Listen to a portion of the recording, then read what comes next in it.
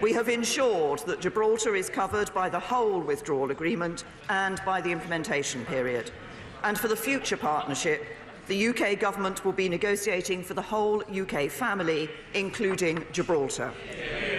As Fabian Picardo said this weekend, and I quote, every aspect of the response of the United Kingdom was agreed with the government of Gibraltar. The legal text of the draft withdrawal agreement has not been changed. That is what the Spanish government repeatedly sought, but they have not achieved that. The United Kingdom has not let us down.